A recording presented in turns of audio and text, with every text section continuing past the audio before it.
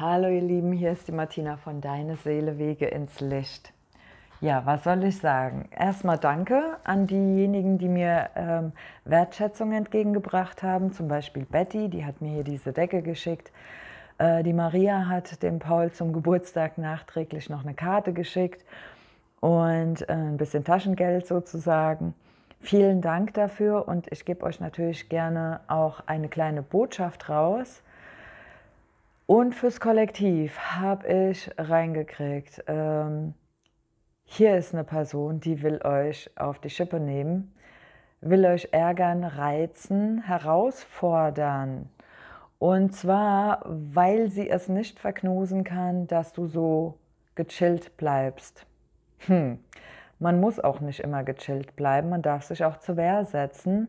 Und wenn dir jemand blöd kommt, dann darfst du das auch tun. Also du bitte äh, deine Meinung zu äußern oder dir Dinge nicht gefallen zu lassen, das gehört mit zu deinem Weg. Das ist ganz wichtig, dass du dich behaupten kannst und dass du dir nicht alles ähm, überstülpen lässt, ja, irgendwelche Meinungen oder dass du Unterstellungen gemacht kriegst, ja, wie du denkst, was du denkst, wie du bist, wer du bist, das kannst ja wohl du selbst wissen.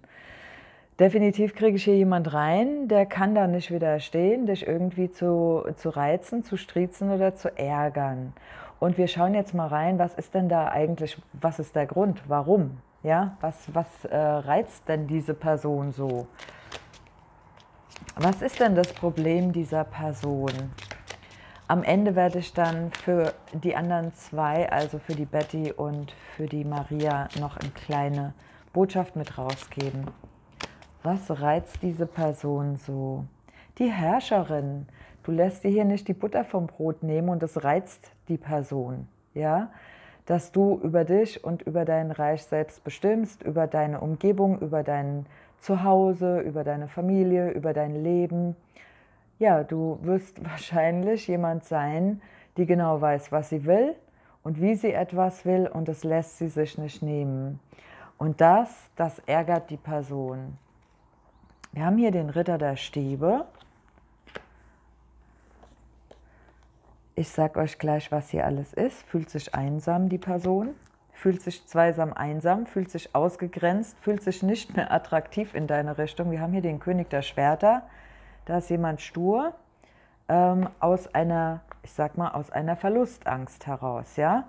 Fühlt sich nicht mehr von dir angenommen. Attraktivität gleich in den Keller gestürzt. So fühlt sich die Person ähm, hat sich das Ganze anders vorgestellt.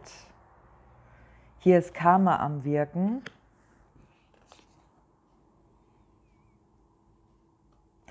Jemand fordert ein auf seine eigene Art und Weise, aber du bleibst hier beständig. Wir haben hier nochmal als letzte Karte wieder dich. Du bist hier die Königin der Münzen. Du nimmst nur das an, was dir schmeckt. Du hast keine Lust auf, ich kriege hier so rein, ähm, abgefertigt zu werden, abgespeist zu werden, unter Niveau, unter deinem Wert dich herzugeben.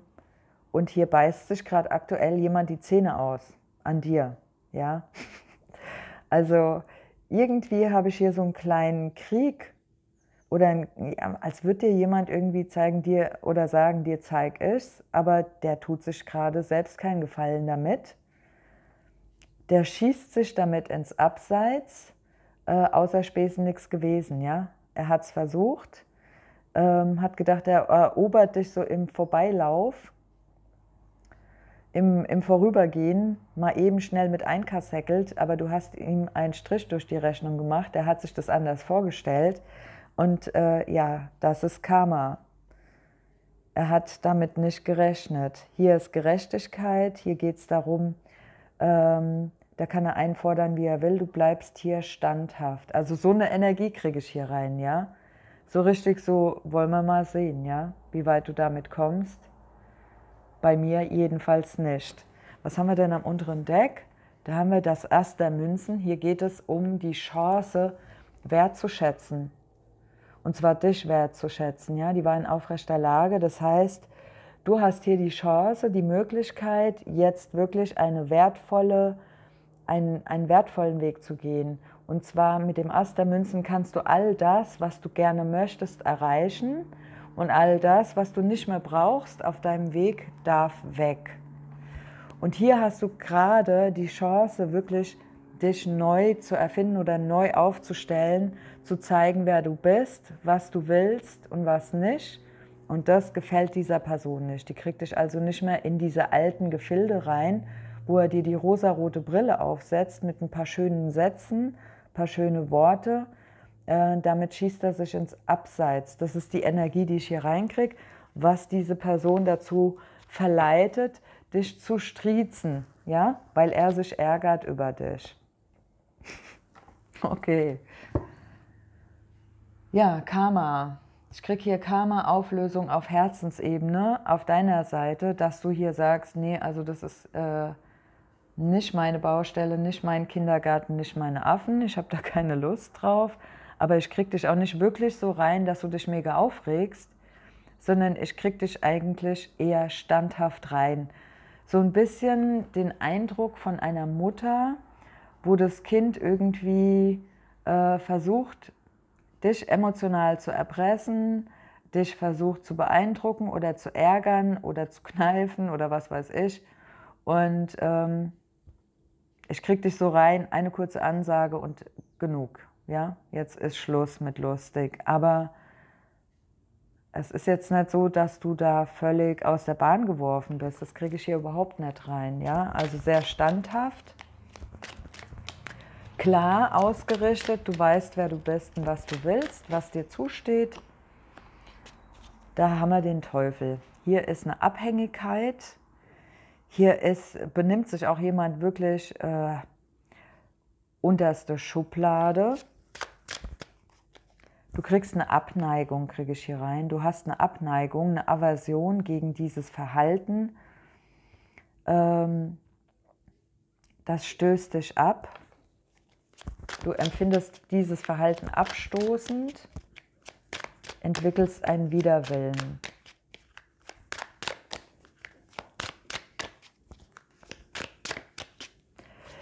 Ich krieg so rein, es turnt mich voll ab. Es ist richtig abturnend. Unlust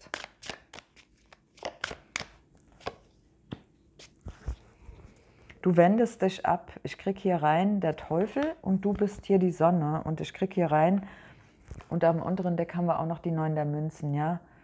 Ähm, du wertschätzt das, was du hast, was dir Energie gibt, was dir positive Energie gibt. Und du fühlst dich regelrecht abgestoßen von dieser Person, von dieser Energie.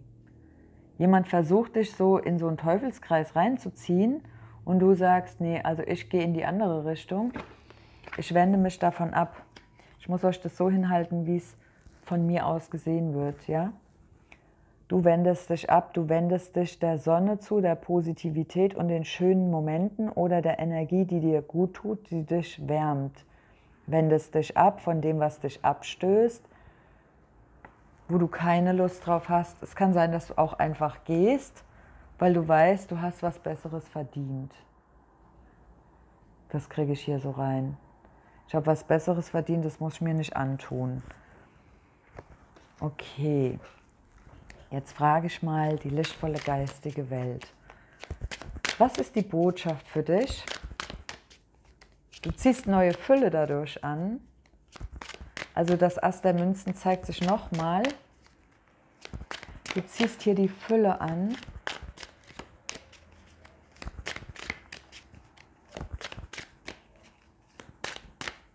Ruhe kriege ich hier rein, endlich Ruhe. Du kannst wieder in den Spiegel gucken, kriege ich auch rein. Ich kann wieder in den Spiegel gucken, ich bin mit mir zufrieden, ich bin im Einklang mit mir selbst, ich bin gechillt, ich kann mich zurücklehnen, es ist nicht meine Baustelle. Ich bin auch offen, kriege ich hier rein. Ich bin durchaus offen, also ich habe mich jetzt deshalb nicht verschlossen. Es hat nicht dazu geführt, dass ich hier sozusagen die Schublade zugemacht habe für eine Liebesverbindung, ganz im Gegenteil.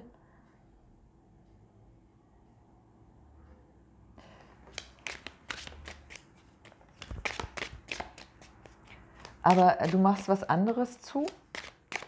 Kann sein, dass du irgendetwas schließt, jetzt nicht generell, sondern eine Situation wird für dich geschlossen.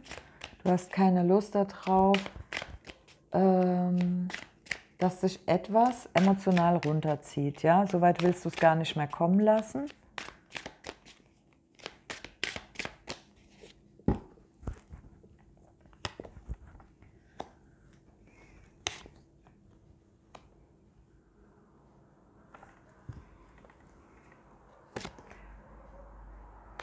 So süß, wirklich. Also pass auf, bei dir kriege ich rein, alle in aufrechter Lage. Du wirst eine kurze Pause machen. Du wirst dich erholen von dem, was du jetzt erfahren oder erlebt hast.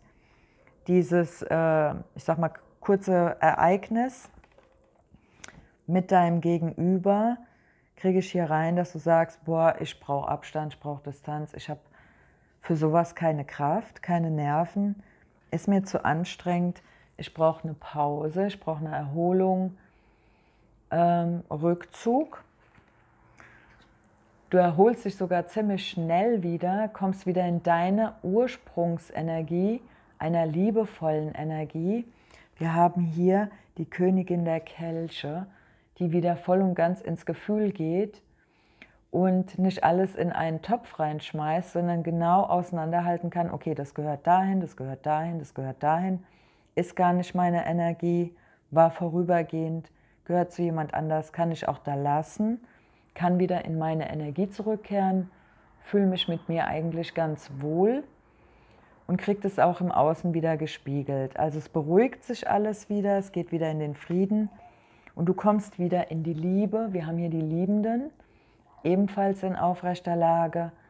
Du wirst Menschen begegnen, Personen begegnen, wo du die Liebe wieder spürst. Ich frage mal, wer oder was ist das? Du kommst definitiv wieder in die Liebe, in dein Gefühl. Ass der Münzen schon wieder. Hier ist eine Riesenchance auf Wertschätzung. Das ist so schön. Ich mache mal kurz auf Pause. Ich möchte gerne noch ein, ein Deck holen. Wartet.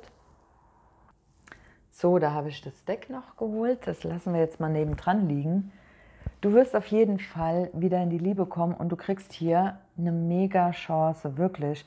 Nicht nur wieder ins Gefühl zu kommen, dich zu erholen, zu regenerieren und die Liebe überhaupt wieder, generell die Liebe zu spüren zwischen, zwischen dir und einer Person, zwischen dir und deiner Familie, zwischen dir und deinen Kindern, zwischen dir und deinen Kollegen, was auch immer es ist ihr seid hier sehr, sehr in der Liebe, also sehr liebevoll und fühlt euch auch geliebt, ja, vom Universum kriege ich hier auch rein. Ihr fühlt euch geliebt und ihr fühlt euch gesegnet und gewertschätzt. Also mega tolle Energie, in die du da jetzt neuerdings reinkommst. Also es ist nur eine kurze Phase. Ähm, und dann geht es auch wieder raus, es ärgert dich nicht mehr, du kannst es wirklich dort lassen, wo es ist. Die Person, die dich jetzt geärgert oder gestriezt hat oder es zumindest versucht hat, vielleicht hat die Person sich extra blöd gestellt, ähm, was auch immer, ich krieg's echt so rein, so versucht dich aus der Reserve zu locken, damit du dich schön aufregst, äh, auf die Barrikaden gehst, um irgendwas kämpfst, aber das kann es ja nicht sein. Was passiert denn hier bei der Person? Wir haben hier tatsächlich drei Lager. Lager Nummer 1 wird hier nochmal mit den Karten zusammengesetzt. Lager Nummer 2 habe ich hier gerade in der Hand. Lager Nummer 3 ist hier auf das Ass der äh, Münzen gefallen. Das lassen wir jetzt auch mal so liegen. Für Lager Nummer 1 habe ich mir noch nicht angeguckt. Brauche ich noch eine Zusatzkarte, da die Karte da drauf gefallen ist. Was möchte mir die erste Energie sagen. Du kannst dir jetzt mal überlegen, möchtest du eins, zwei oder drei oder ist es für dich eine ganze Kette der Ereignisse in Bezug auf deine Person?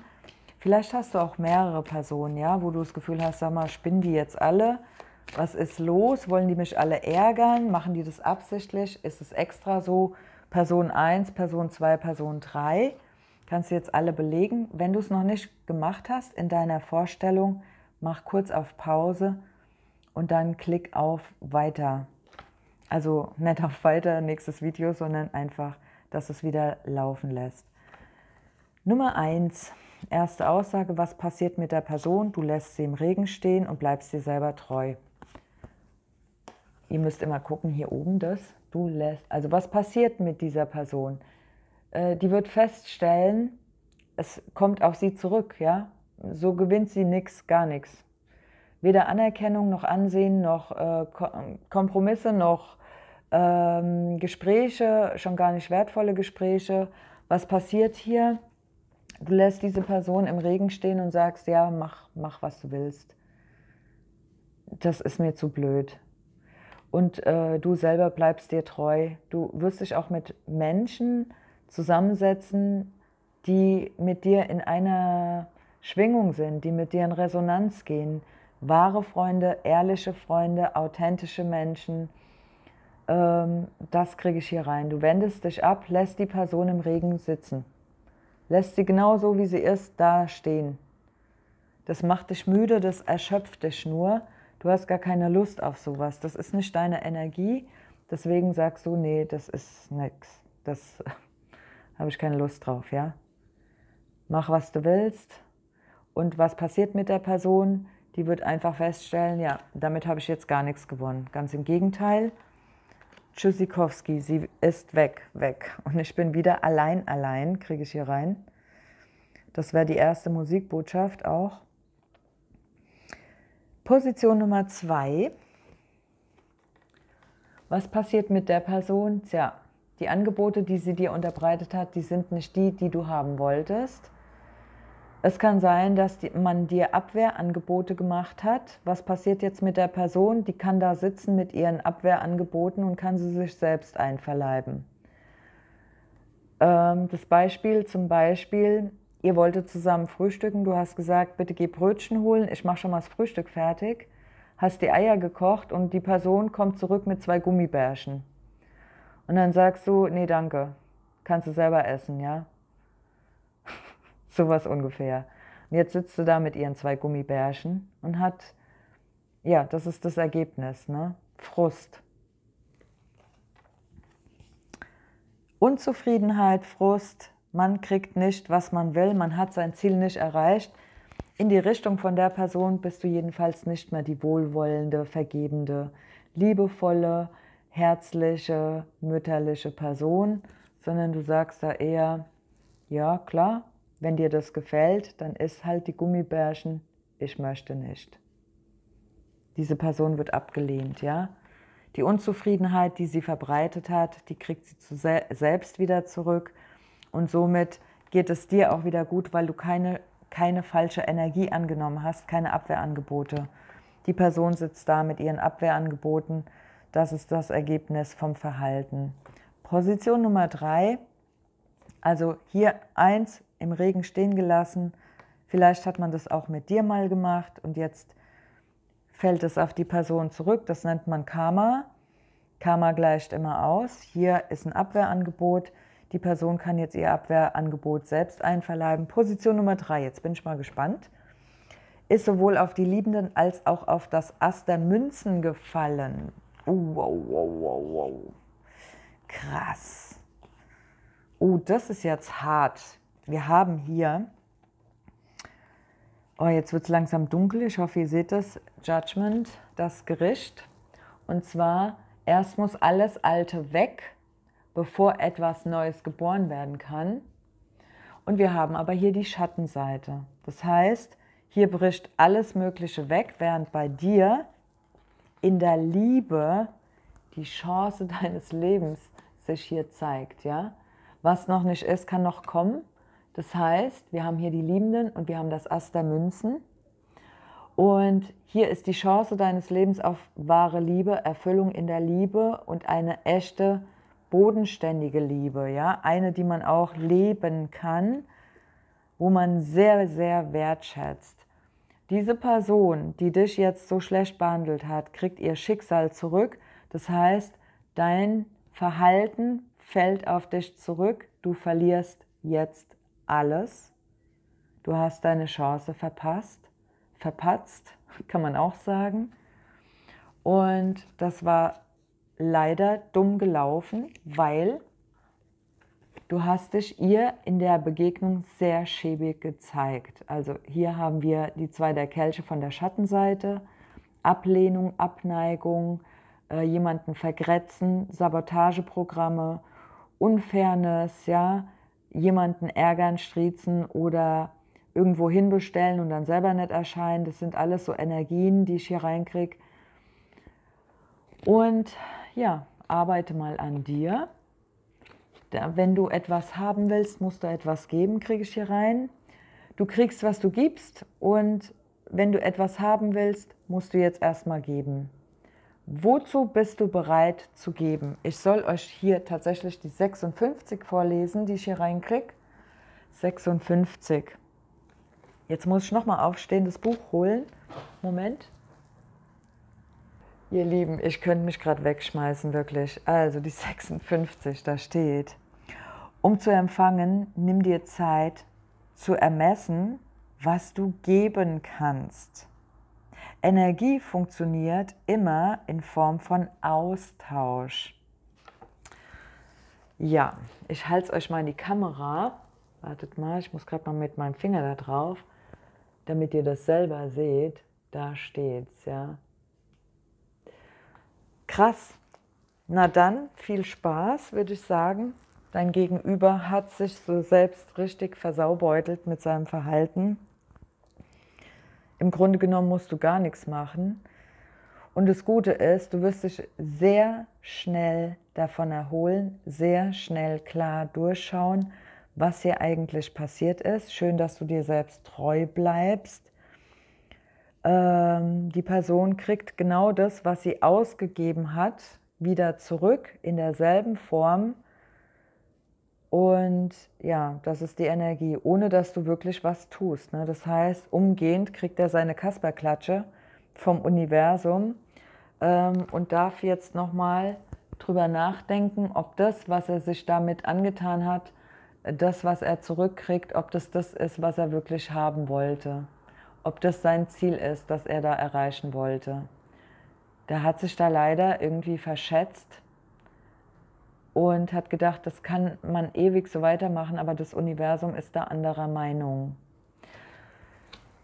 Hm, und jetzt darf er erstmal wieder für Ausgleich sorgen. Also alles, was er jetzt irgendwie wieder zurückkriegt, in negativer Form, muss er trotzdem jetzt dafür sorgen, dass er positive Dinge in Ausgleich bringt, dass er was zurückgibt, damit er sein Konto, sein Karma-Konto wieder befüllt, damit das Universum sagt, okay, jetzt hast du mal ein paar gute Sachen gemacht, jetzt kriegst du auch mal wieder was Positives. So funktioniert Karma. Und du hast keinen Auftrag, ja? Kriege ich jedenfalls nicht so rein. Ich habe auch nicht das Bedürfnis, heute die Karten hier zu nehmen, weil ich glaube, das passt auch nicht. Das machen wir vielleicht in der nächsten Legung. Aber eine Post, eine Engelpost habe ich hier noch. Und dann noch für die anderen zwei eine Dankeschön, kurze Legung. Ich mache sie mal auf. Schön, dass es dich gibt. Da fällt schon der erste Glitzer raus. Wir haben hier einen Peace-Tee.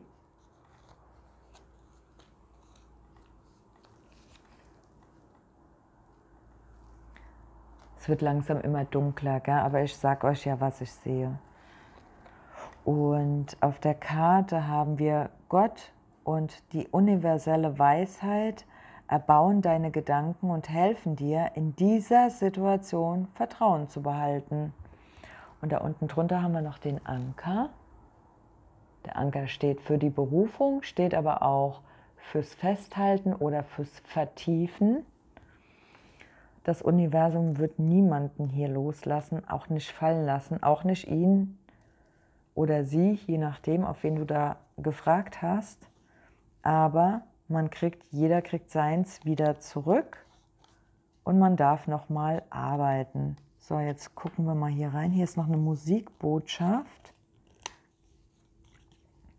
Und die Musikbotschaft ist von, oh, Dankeschön, also äh, von Beth Hart, Thankful.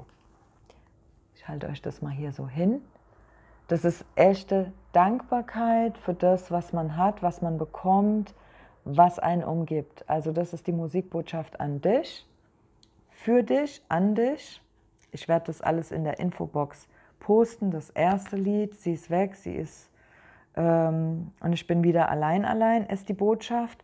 Und für dich ist, du bist wirklich dankbar für das, was du in deinem Leben jetzt hast, auch für den Frieden, für die Ruhe, für die Liebe, für die Fürsorge, dass du dich wieder in deiner Energie spürst.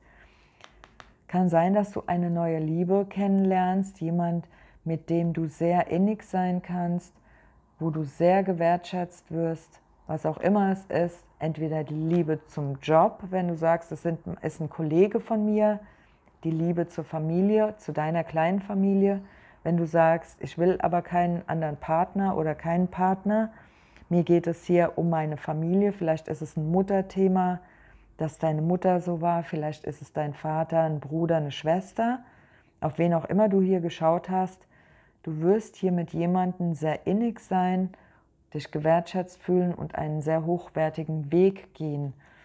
Und du sollst bitte positiv denken. Also Gott und die universelle Weisheit erbauen deine Gedanken und helfen dir, in dieser Situation Vertrauen zu behalten.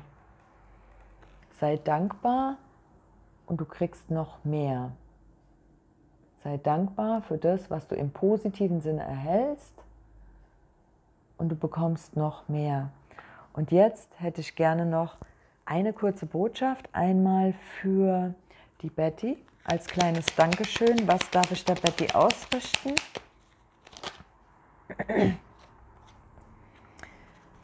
Der gute Herr.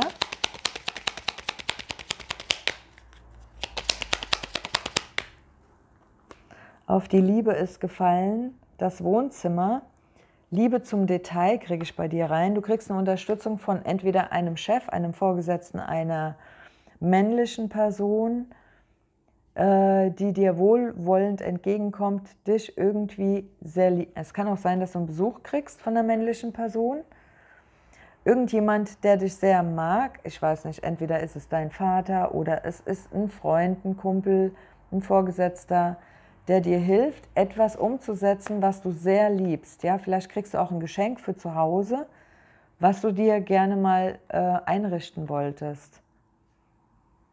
Ich krieg hier etwas, woran dein Herz hängt, was du gerne haben wolltest, ein Geschenk für dein Wohnzimmer, für deine Einrichtung.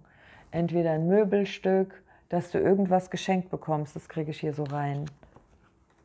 Was dir sehr gefallen wird, ja? Danke, Betty. Und dann einmal für die Maria, bitte. Was ist die Aussage für die Maria? Eine kurze Botschaft für die Maria. Oh, es wird immer dunkler. Sorry, aber ich kann es nicht ändern gerade. Unverhofftes Geld. Maria, hast du nicht mit gerechnet? Unverhofftes Geld, ich halte es mal so hin, ob man sieht, weiß ich nicht. Und ähm, schauen wir nochmal.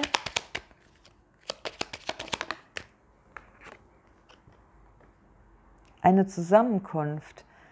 Äh, unverhofftes Geld kann mit der Zusammenkunft und eben auch auf die Liebenden, ähm, das ist mit Geld nicht aufzuwiegeln, ja, oder das ist nicht mit Geld aufzuwiegen, so rum.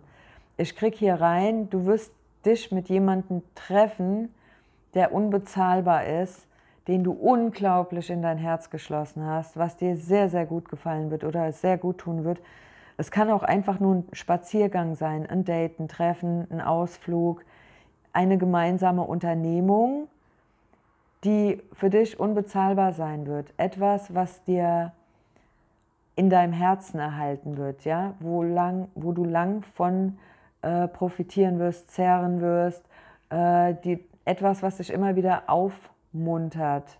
Also etwas ganz Schönes, eine tolle Begegnung mit einer Person, die du sehr in dein Herz schließt. Vielleicht ist es auch ein Zufallstreffen, eine Zufallsbegegnung, eine Zusammenkunft mit jemand, wo du das Gefühl hast, wow, das hat viel in mir ausgelöst, hat viel mit mir gemacht, das fühlt sich richtig gut an da gibt's, äh, da möchte ich gerne Wiederholung. Also schöne Dates, schöne Treffen, äh, schöne Geschenke und äh, was haben wir hier? Am unteren Deck haben wir Arbeit und Beschäftigung. Hier kriege ich Beschäftigung, also hier kriege ich aber auch rein, dass sich andere mehr mit sich selbst auseinandersetzen, sich mehr mit sich selbst beschäftigen, mit dieser Energie. Ja? Es beschäftigt einen immer mehr, Dinge, die einen auf Herzensebene berühren, ähm, Situationen, die einen im Gefühl abholen, wo man das Gefühl hat, dass es eine hochwertige Situation, eine hochwertige energetische Situation die mich beflügelt, die mir gut tut, wo ich mich in meiner Energie fühle, wo ich mich gewertschätzt und geliebt fühle und das auch gerne zurückgebe, weil es echt ist, weil es authentisch ist, weil es ehrlich ist. Und was auf Herzen wirken soll, muss von Herzen kommen. Und nicht vom Kopf, sondern vom Herzen. Und das ist die Energie, die hier reinkommt. Man erholt sich von den Dingen, die aus dem Kopf, aus dem Ego passiert sind, kommt wieder zu sich selbst zurück, ist freundlich mit sich und zieht dadurch energetisch auch genau diese Menschen wieder ins Leben, die anständig miteinander umgehen, ja, sich wertschätzen, dankbar sind für die Begegnung, für das, was man durcheinander erhält, was man einfach bekommt. Das ist die Message hier. Ja, ich freue mich, wenn wir uns ein andermal wieder hören, auch wenn es hier jetzt putzedunkel ist. Ähm, ich wünsche euch alles Liebe und ja, gerne bis zum nächsten Video. Bitte vergesst nicht zu liken und danke für eure Abos, falls ihr meinen Kanal noch nicht abonniert habt und möchtet gerne die nächste Legung auch sehen, dann wäre es super, wenn ihr meinen Kanal abonniert, dann verpasst ihr auch keine Legung mehr. Wenn ihr eine persönliche Beratung buchen wollt, schaut in die Infobox, da sind meine Termine drin und die Karten und die Musikbotschaften. Bis dahin alles Liebe, eure Martina. Ciao, ciao.